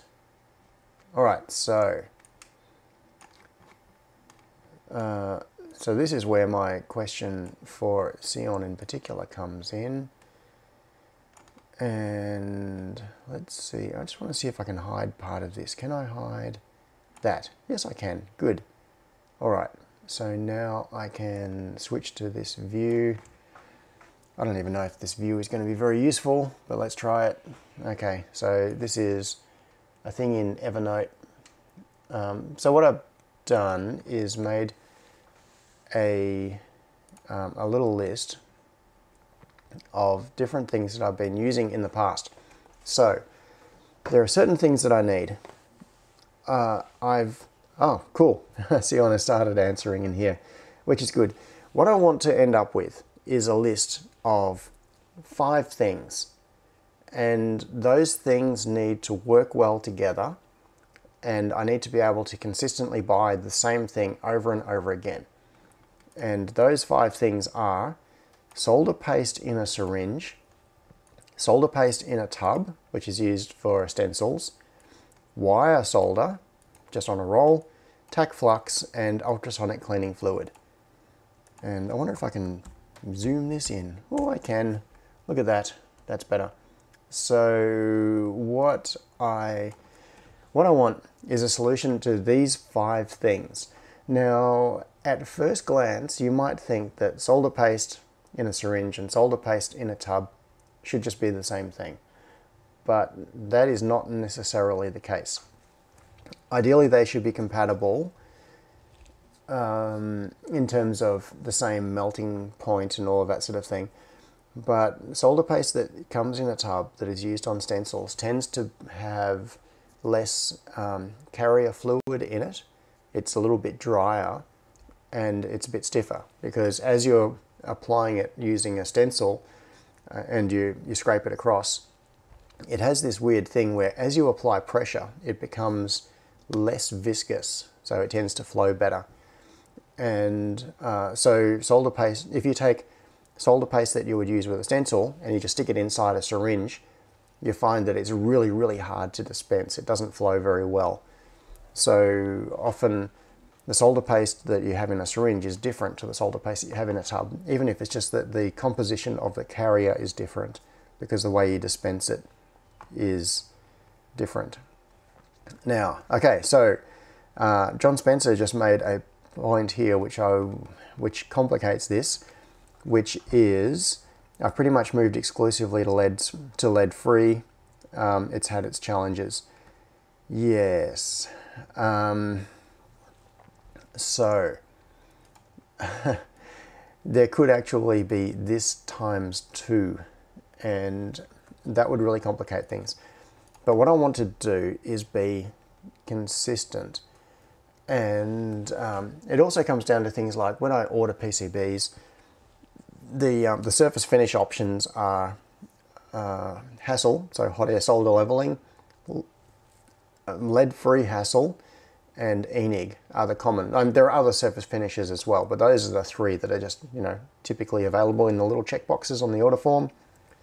And if I'm doing uh, if I'm doing production boards, particularly with fine pitch parts, I normally go for ENIG because it gives you a perfectly flat surface. Whereas uh, if you have HASL, so hot air solder leveling, there will be slight imperfections in the surface. It'll have little um, waves and things in it, so that's a bit of a pain. So for hand assembled prototypes, I often just order, in fact, what are these? Yeah, so these ones. These are boards that I ordered for hand assembled prototypes, and these are HASL, so hot air solder leveling, which is why the pads are silver. But for production boards, I usually use ENIG, uh, so electroless nickel immersion gold. So Hmm. Back to the point. Ideally, what I would like to do is go lead free. And I want to be consistent. So instead of, at the moment, I've got, um, that's a little bit hard for you to see. You, can, you don't really have a, a good view, but up here on the bench, I've got the roll. This is the regular um, 6337 that I just grab down whenever I'm doing hand soldering. So that's leaded solder. Next to it, I've got um, SAC 305, which is um, a silver solder, so that's lead free in the same diameter. These are both 0.7 millimeter diameter. I've also got a roll of, what is this one, 0.4. So this is 0.4 millimeter diameter uh, SAC 305. So silver solder once again. And those are the ones that I typically reach for when I'm just using, just doing hand assembly with wire type solder.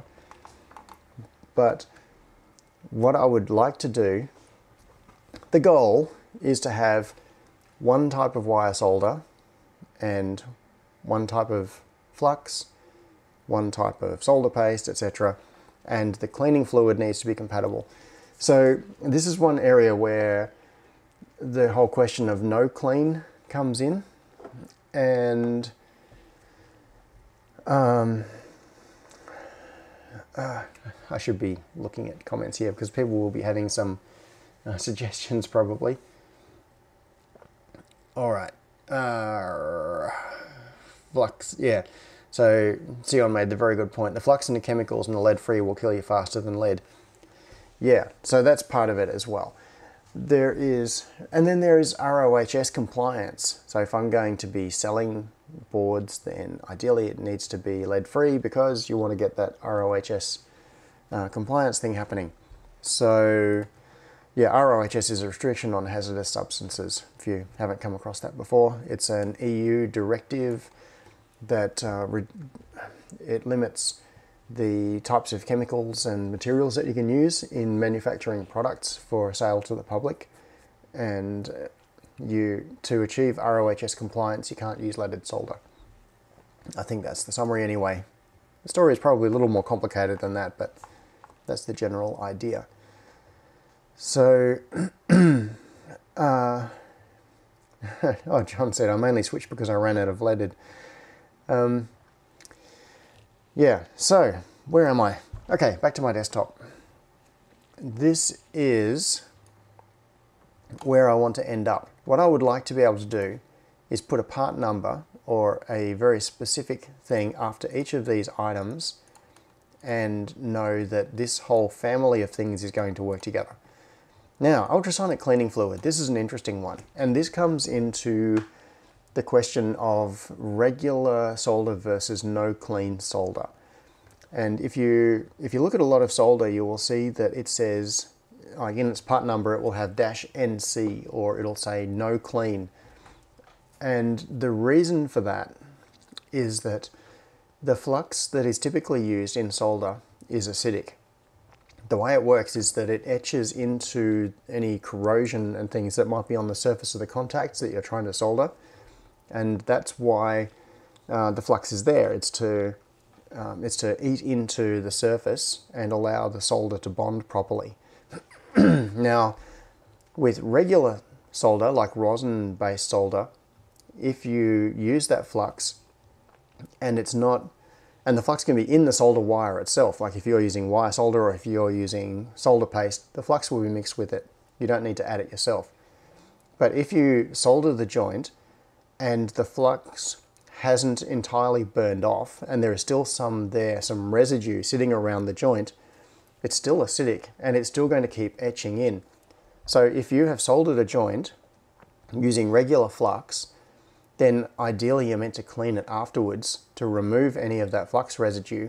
Otherwise that residue is going to continue to etch into the material, uh, like the metal or the joint or whatever. So you need to get rid of it. You can't just leave it on the board. And that is why NC flux or no clean flux was invented. It's so that you can make a soldered joint and then you can just put the board aside and ignore it. And it might look a bit crappy, like there will be flux and residue around the joint, but it's not going to be actively damaging anything to leave it there.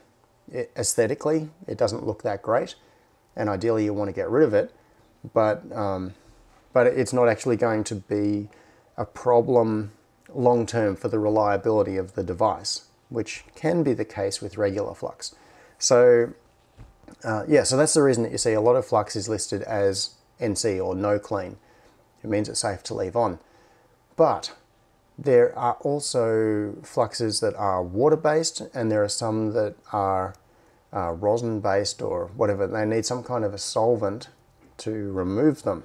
So you can get solder that is water cleanup, as in you can get an ultrasonic bath and put uh, distilled water in it, and then you chuck your PCBs in, and the water is sufficient for cleaning the um, the flux off it.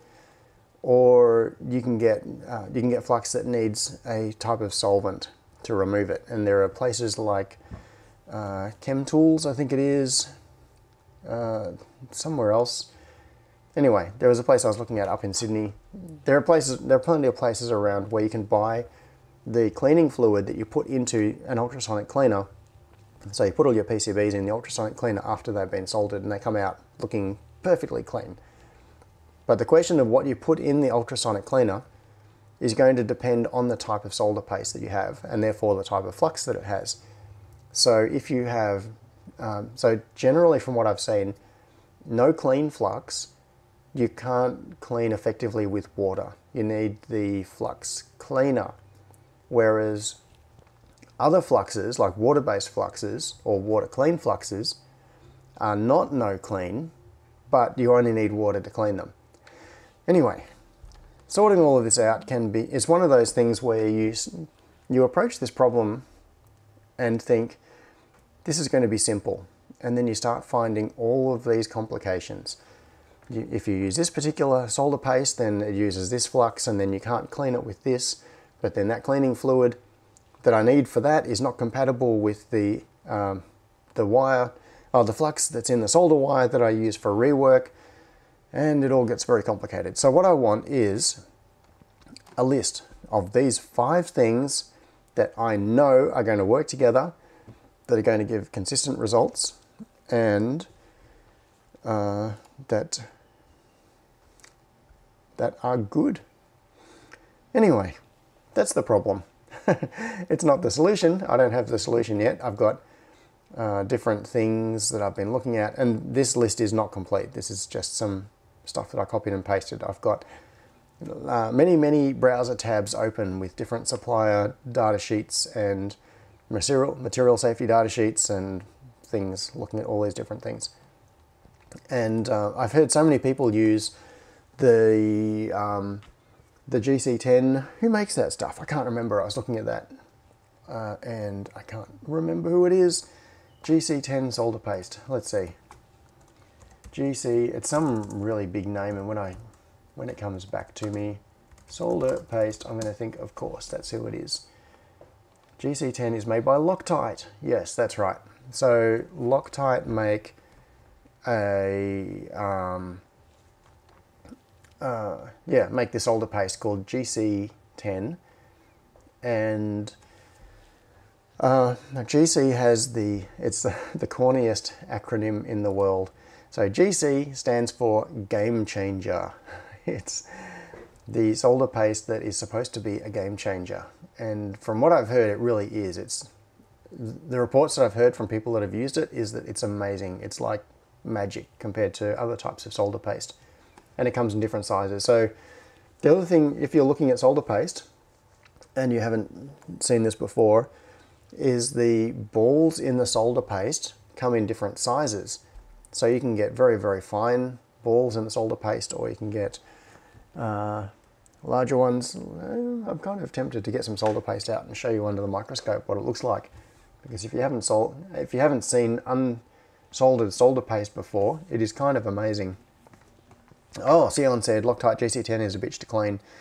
That is very interesting to know. Okay, so uh, it looks like um, uh, looks like Seon has provided a bunch of feedback in the chat, so I'm going to have to go through this as well.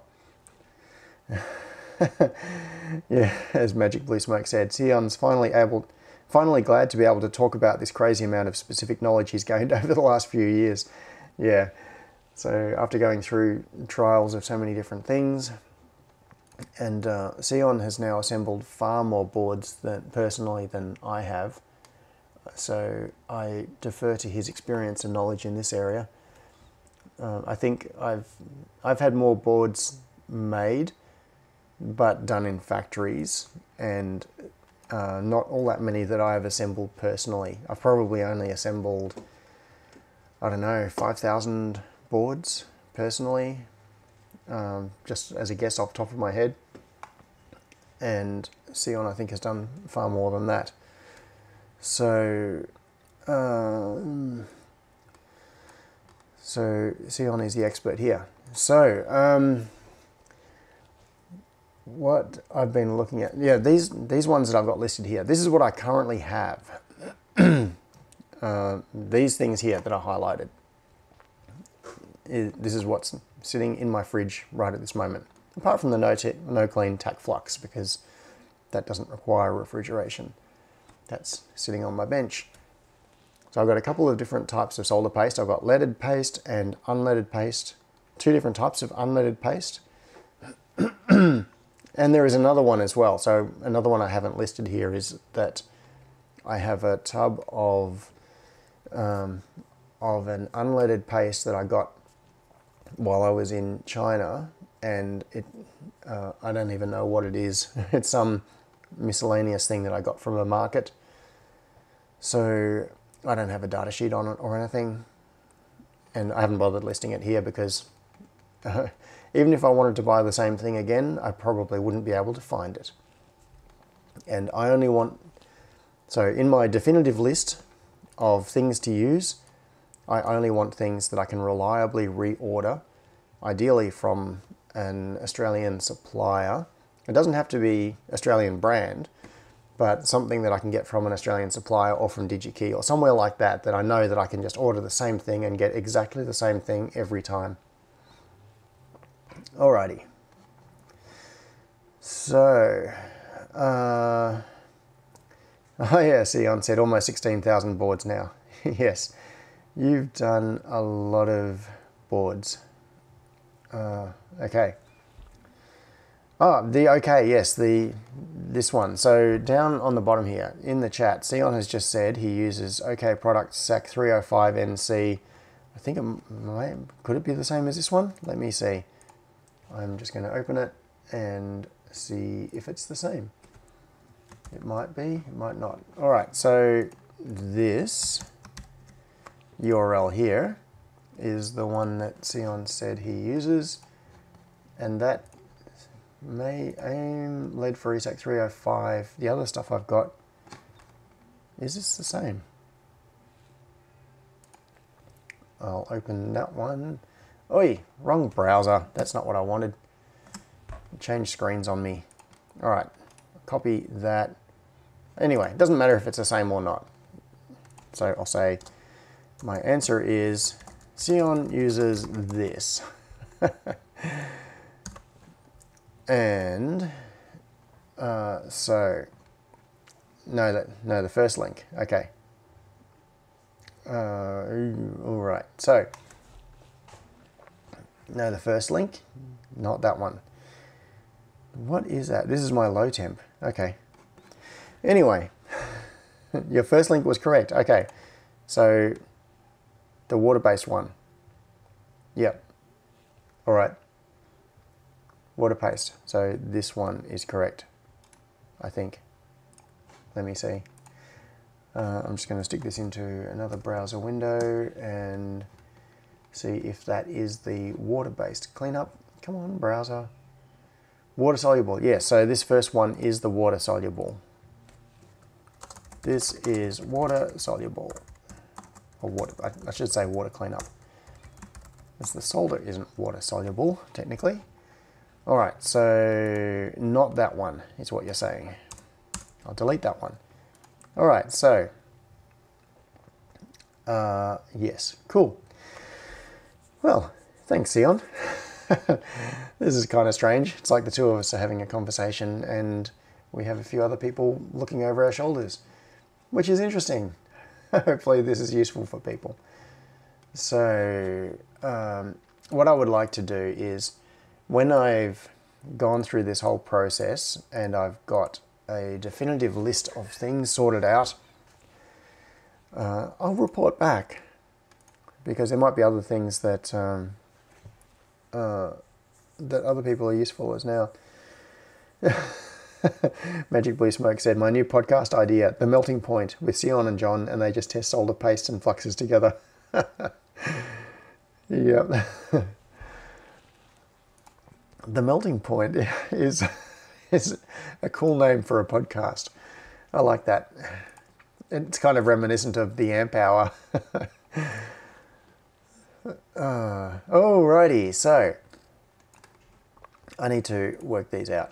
And wire solder, of course, is the, the other thing. So Tacflux. I've got this Tacflux at the moment, which is this Chip Quik stuff. It's the no clean Tacflux. And I mm, I like it in terms of its characteristics for um, for what it's like to put onto the board and the way it performs. It, it works really well. This is uh, this is pretty good stuff as far as Tacflux goes. And I have a feeling that this might be the same flux that um, uh, Louis Rossmann uses I can't remember. I've um, I've looked up some of the stuff that Louis uses in the past, and I think that's actually where I found out about this particular Tacflux. So Louis uses this for all his MacBook repairs and things. I might be wrong about that. He might use something different, but I think that's where I got that part number from.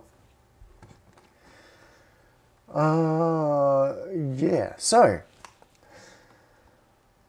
Uh, this is water cleanup. So solder paste in a tub. I should start um, making this a proper actual list. So let's stick this in here. So I now have an answer on the solder paste in a tub that I should use. Amtech. Ah, yes, Jack's Tech said Amtech.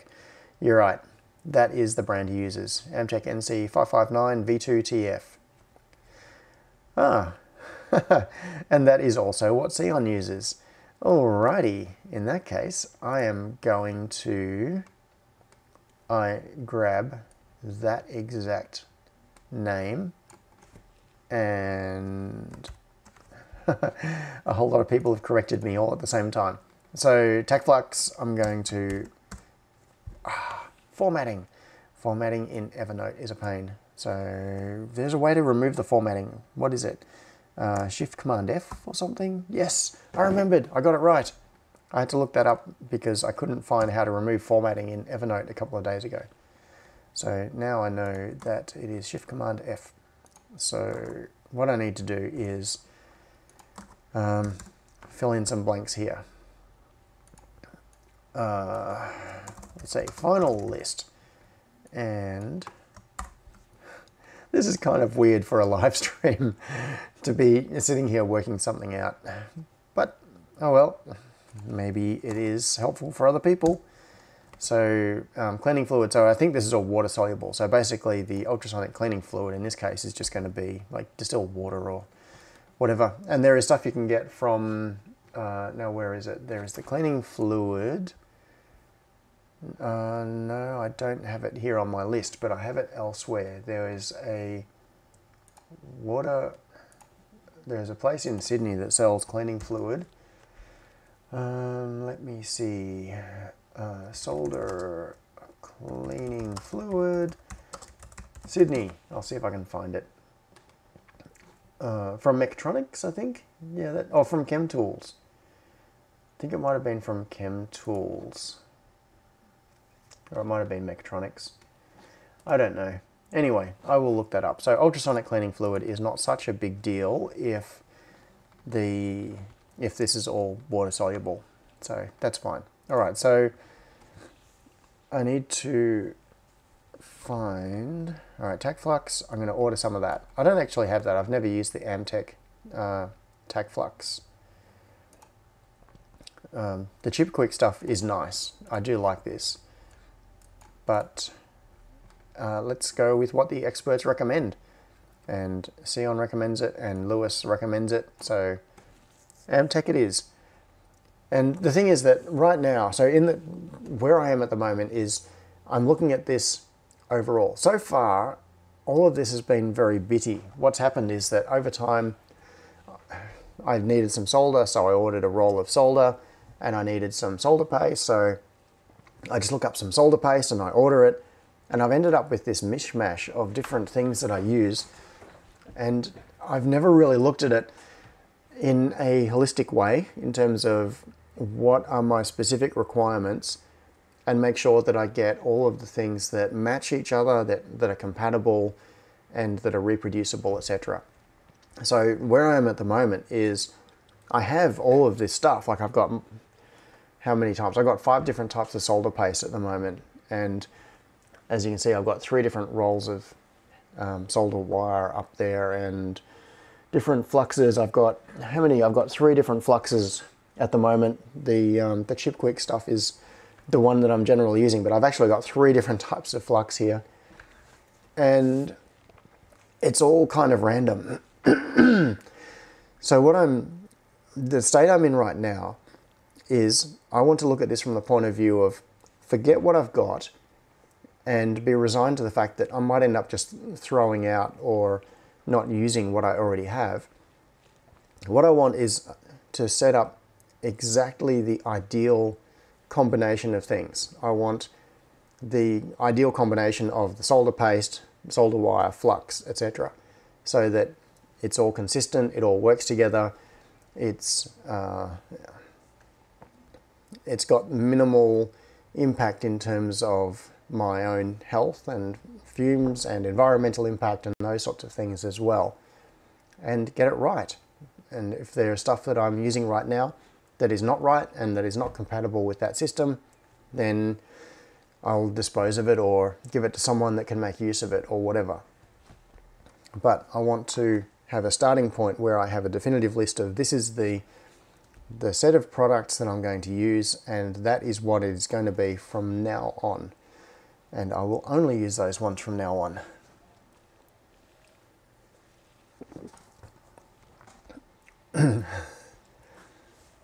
I buy it. Oh, Chem Tools. Okay, so I, Chem Tools Cleanium. Yes, that's the stuff. sorry, when I was looking a moment ago for the cleaning fluid from that Sydney supplier, uh, that was the one I was looking for. So I'm going to stick, uh, let me switch back to my desktop view here. So this product here, yeah, I've, um, this stuff I've had open in a, another, it's in one of the many browser tabs at the moment. So this Cleanium stuff, I'll bring it over here. Eventually it'll load. So printed circuit board and electronic part cleaning solution. So this is the stuff that goes into the ultrasonic cleaner. And yeah, as Seon said, he buys it in 20 litre plastic drums. So that is what I will get as the cleaning solution to go into the, um, the ultrasonic cleaner. All right, we seem to have a good start here on a list of compatible things. So what I need to do is work out solder paste in the syringe. So at the moment I've got some uh, Chipquik unleaded solder paste in a syringe. In fact, I have a brand new unopened uh, syringe of this stuff. It's sitting in the fridge, never opened because I've still been finishing off the other one. So this particular one, the Chem Tools one, I've been finishing off and I've got this one, which I have never used, sitting in the fridge. Maybe that will end up okay. I don't know. I'll give it a try. So that might end up being the product that drops into this one here.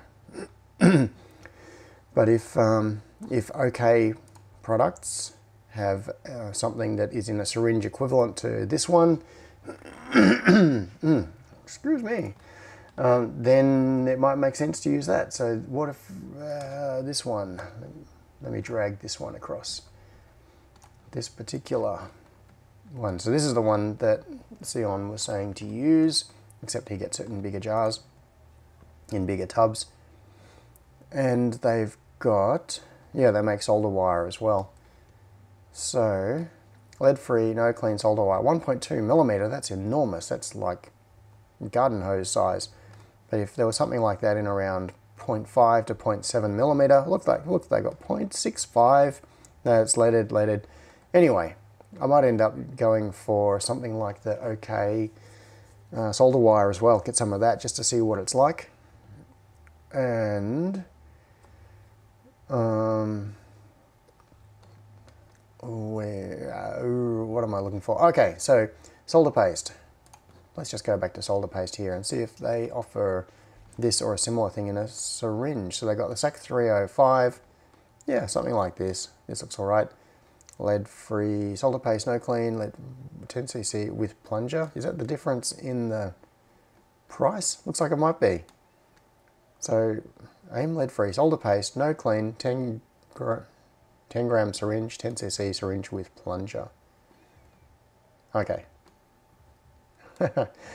uh, whichever way. Solder paste. Uh, so uh, there's some cartridges, a couple of others. Which one have I got at the moment? No, it's not that one. So what I might end up doing is getting a syringe of this stuff, lead-free solder paste, and use that as my replacement. But first I'm going to experiment. I'll try the um, the Chipquik stuff to see what it's like. So this one, let's put this one in, let's uh, do this, solder paste syringe, have this, and I'll say, maybe try this, and I'll stick in that OK solder paste. And at least that way I'm getting the solder paste in the tub and the tube from the same supplier.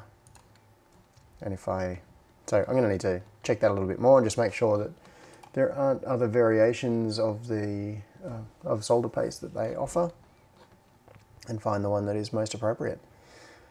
Uh, hmm, all right.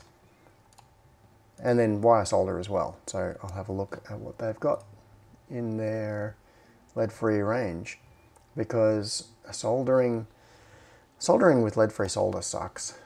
It's a it's such a pain. Um, what have I got? Uh, yeah, I've got some other stuff up there. I might persist with it, but what I might also do is try switching leaded, leaded, leaded, related products. Anyway, solders and fluxes. Yes, let's have a look. While I'm here, I might as well lead-free solder wire. I'm clicking through something that you can't see right now. Maybe I'll just bring this across. Alright, so this is the OK range of lead-free solder wire. Um, they've got a variety of different widths here, so 2mm, 1.6, 1.2, 1mm, etc. So this is all SN100C, no clean in that range. And then we've got SAC305 here, no clean. Now, in terms of diameter, the size that I prefer is generally, so I've got 0.4 millimeter and 0.7 millimeter.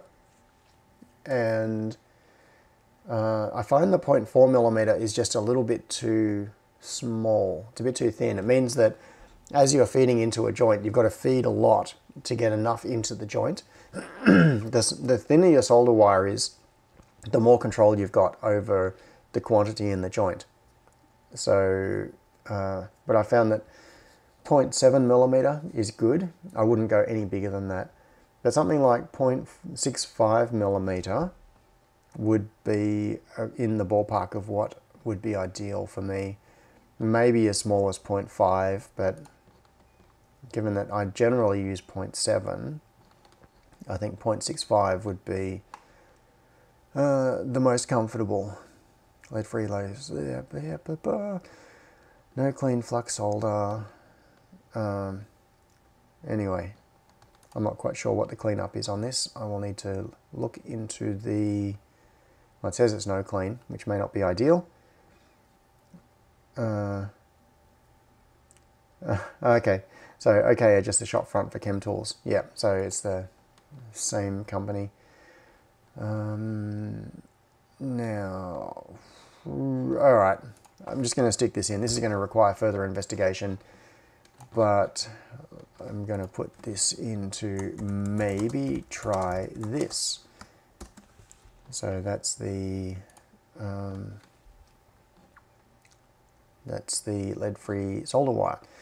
But I do have plenty of 0.7 millimeter lead-free at the moment, the SAC 305 solder wire. So I probably don't need to buy that right away. But I'm aiming towards having a standardized shopping list. So whenever any of these things run out, I just go to the shopping list and that is the stuff that I use to replace it with. Okay, well, thank you very much, Seon, and everyone else for your uh, uh, for your advice on that. That's uh, that is really useful. All right. Oh, Peter Kirkos said, I bought a little ultrasonic cleaner from Aldi together with Cleanium. Works a treat. Cool. Thanks. Um, all right. Oh, and Seon said, I've been known to take from my 500 gram jar and put it into an empty syringe. Cool. So if that works, that's fantastic. It means that it's one source of the solder paste, and then I can just decant some into a syringe. Um, yeah. So, uh, hmm. All right. Oh, and Johnny Bergdahl pointed out most solder paste needs to be refrigerated. Yes, I do have some. Uh, so I do have a little fridge in behind that door. There is a little uh, bar fridge essentially, and that's where I keep my solder paste, all sealed inside Ziploc bags, inside plastic containers in the fridge.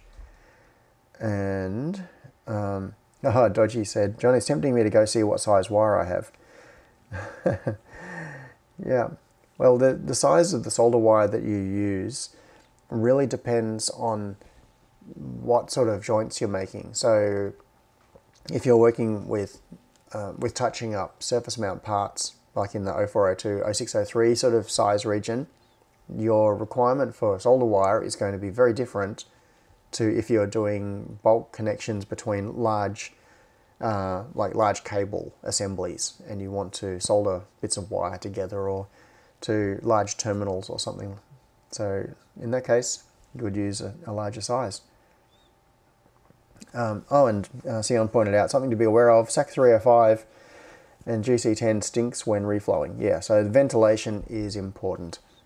And uh, I think I have my ventilation pretty well sorted now. Ultimately, what I do want to do is get one of the conveyor type reflow ovens, um, probably the same one as Seon has. But at the moment, I have the large drawer style reflow oven. And uh, with the, the fume hood that I've got over it at the moment, that seems to be working fairly well. And with the good new exhaust system, it's uh, keeping all of the fumes out of here. Oh, interesting. So Jaxtech said SDG did a bunch of comparisons of solder and flux. Hmm, I should look that up. Um, all right, is this a brain fart moment? What does SDG stand for? Solder flux. I'm just going to see if I can find it. I'm sure it's something that I should know if... Oh, SDG Electronics? Oh, okay, here we go. So SDG number 55, what's the best solder for electronics? Uploaded by SDG Electronics. And SDG number 59 is what's the best flux for soldering. Awesome. All right, well, thanks for that tip, Jax Tech. I'm going to look at those videos and see what they recommend. Uh, yeah. So, um, yeah, Iron Magic Blue Smoke said, if you guys solder cups on military connectors, you need like 1.2 millimeter wire. Yeah, so doing connectors and things, typically you need much larger solder, uh, solder wire to be able to do it effectively. Uh, Liney118, 1 a.m. here. and um, Klein's, I'm asleep now, 2 a.m. um, sorry to keep you up so late. It's about time for me to stop anyway, but thank you very much for, uh, for coming along and staying up so late for the live stream. Now, there was something else I was going to mention. Okay, I will. Uh, I'm going to wrap this up in a second, but I will just mention in passing. Uh, yesterday, I got a. Um, uh, over the last couple of days, I've actually spent quite a lot of time on the data logging and reporting video, and I know I said this last week as well. In fact, last Sunday I said conceivably by the end of the day it could be uploaded. And it has taken so long to get through these last sections. It's um, so I've been kind of paying attention to it over the last few days as I've been working on it. And for every minute of the video that I'm producing, it's taking me maybe an hour of time, something in that region by the time I record it, do the, you know, move the video into my computer, get it imported, and the import process takes a long time into Final Cut Pro, and then do the editing, and then I go back to record a bit more. So it's just taking so long, but it's getting there. I'm at the point now of um, showing configuration of uh, Grafana and that is uh, that's actually a kind of tricky thing to show. I find the Grafana user interface to be not intuitive at all, and so that's taking a little while. But that's basically the last thing that I have to do for this video is showing how to uh, pull the data out of InfluxDB and display it in Grafana. So you've got nice little charts of air quality or temperature or whatever it is the data is that you've been recording. So the video is very close, and if I um, if I spend the rest of the day working on it, once again, it is conceivably possible that I could get that last few minutes worth filmed today and edited and begin the upload. So, I just want to get that one out of the way so I can get on to more fun things. Um, alrighty. Uh, um, Oh, yes. So that's the reminder. so thanks, Seon, for pointing that out. Make a cast this weekend. Yes. And um, Blitz City DIY is the host this year, uh, this time. So go and check out Make a Cast. Seon has already dropped the link in the video chat there. So uh, yes, check it out. Oh yeah, so Stephen Hawes, yeah, he's. I don't think he's on this month. He was on last time, I think, or he was on one of the recent ones anyway, uh, talking about his pick and place project. So, uh, I think I'd better wrap it up there. I'm sure there's more I could talk about, but um, yes, Seon, you are very welcome to take over my channel. um, and thank you for all your advice. Uh, yes, so thank you very much, everyone, for coming along on this. I was going to say sunny Sunday, but it's been it started as a rainy Sunday and then it became a windy Sunday. Now it's just an overcast Sunday. At least that's what my uh, monitor up over the top tells me. I can't see directly, but I can see what the camera tells me the day is like, and I'll go out and experience it personally now when I grab some lunch and then hopefully continue with this video. So, thank you very much everyone for coming along. As usual, I've got to try to remember how to end this stream. I think I click this big end button that is in front of me right now. So, um, yeah, have a great week and I will talk to you really soon. See ya.